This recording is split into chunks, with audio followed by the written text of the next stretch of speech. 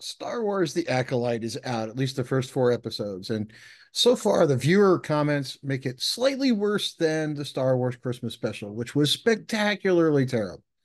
And I've kind of avoided watching it for a lot of reasons, but I, I watched all four episodes and I wanted to talk about it because there's been almost uniformly terrible reviews of this thing.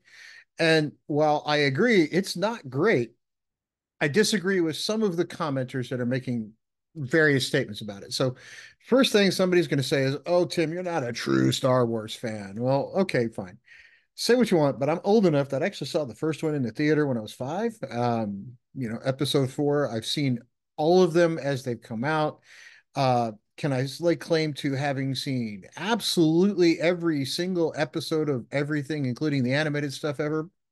No, I can't. But I, you know, I've been around the block a bunch of times, including you know, taking my kids to go see this stuff. And honestly, I think my kids were probably the least entertained of anybody there. It was probably me who was more of that.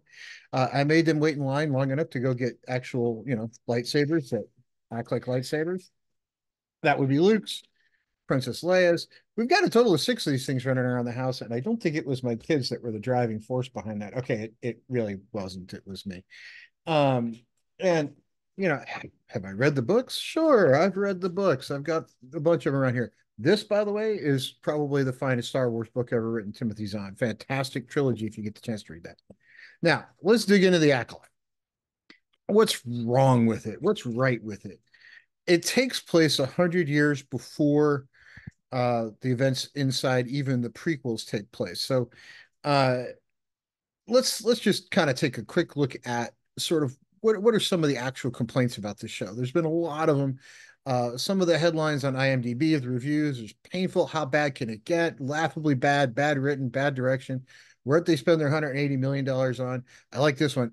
Jar Jar Binks was a museum masterpiece next to this. It's over, c- complete garbage.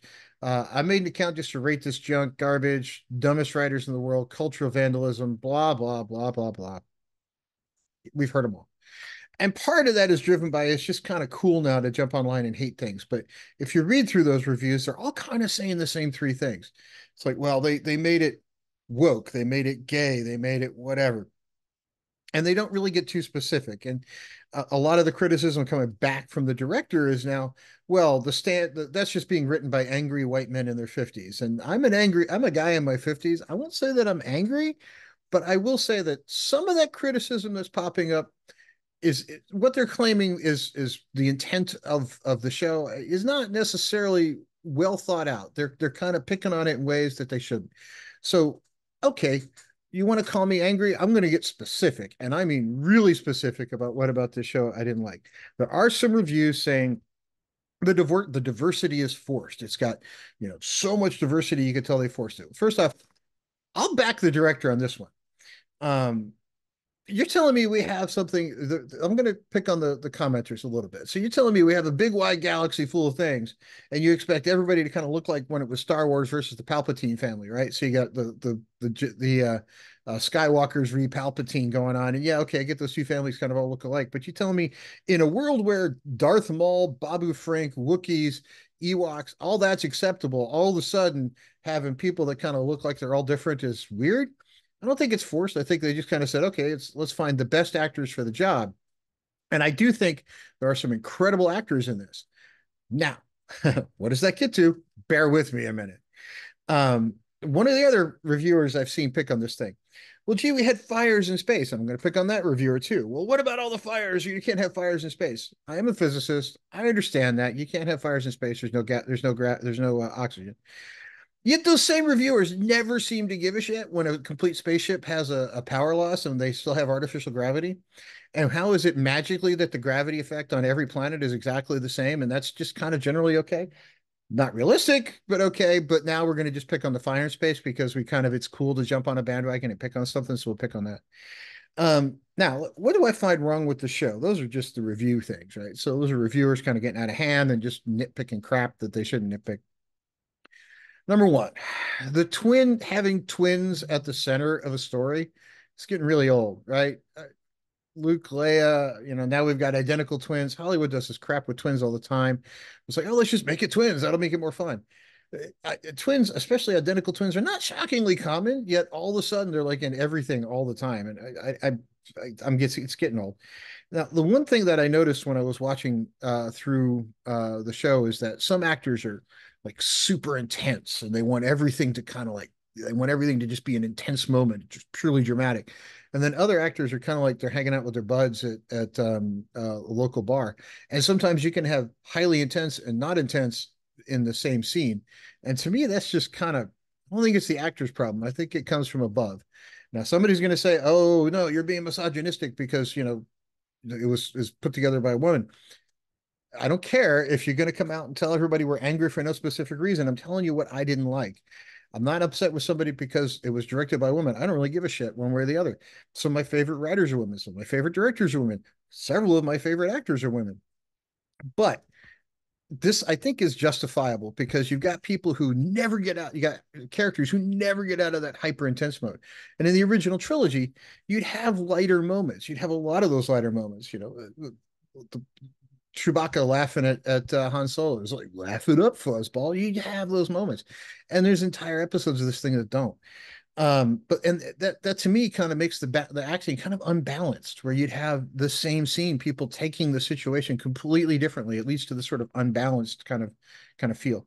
Now, this one I'm also going to pick on the, the criticizers a little bit too. So there's women kind of this group of women create these twins and they create them without men around. Everybody's like, oh, you can't do that. But nobody said anything when that happened in Wonder Woman. And when um, Palpatine brought it up that you can kind of create life if you use the Force, nobody really said anything about that either. Yet here's an example of it happening. And all of a sudden we're going to pick on it and blame the director and producer for that.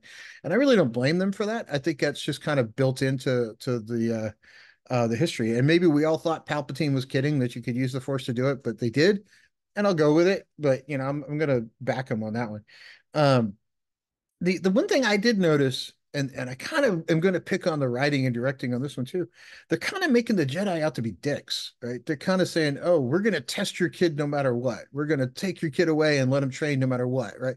And oh, you might have to do it or else, right? And it's not that the Jedi said that; it's just that you could get that feeling from that group of of uh, uh, uh, women that you know we, we have to let this happen you know otherwise it could be a problem. They thought about fighting back but they didn't want to vocalize it too much. So there was some tension there but um they to me it was like they were trying to kind of purposely make the the jedi out to be sort of heavy-handed sort of dicks um and justify slaying one of them later. And what the hell is with the jedi committing suicide? A little floaty dude that kind of looked like uh, uh luke skywalker? You know i don't get it. Um but the, the rest of it to me it was just boring. I finally at the end of episode four like a sith lord shows up or something. But you know i had to kind of really force myself to get that far into the series and i really don't care that a sith lord showed up. I mean that's just kind of you know par for the course with star wars. I'm not like oh yeah this is finally no i i'm kind of to the point where i don't care. Um and yeah okay that's neat that you've got i guess it's a sith. I'm taking a shot in the dark there. They haven't really explained it. Uh but the the thing I found about it is that the show is mostly just boring. Um, Star Wars typically has a specific pace to it and it moves fast, and this thing just really doesn't. Uh, it kind of moves like a snail, and you know it, the rest of it, you know, I don't care. Written by women, people want to think that it's gay. I, you know, I don't see any of that. I don't feel any of that when I watch it. But what I do find is that I'm shockingly bored. Uh, and when I watch Star Wars, I'm looking for something to move quicker. Um, and you know, it is what it is, folks. It's it's probably not going to get better as the season progresses. I may watch the fifth episode, I may not, but after four, I'm really not that excited for the next one. Uh, so you guys make up your own mind. Let me know what you think in the comments. Everybody have a great uh, great day, rest of the weekend, week, wherever you watch the video. Don't forget to click subscribe, like, uh, and um, follow wherever you happen to see the video. Uh, everybody have a great one.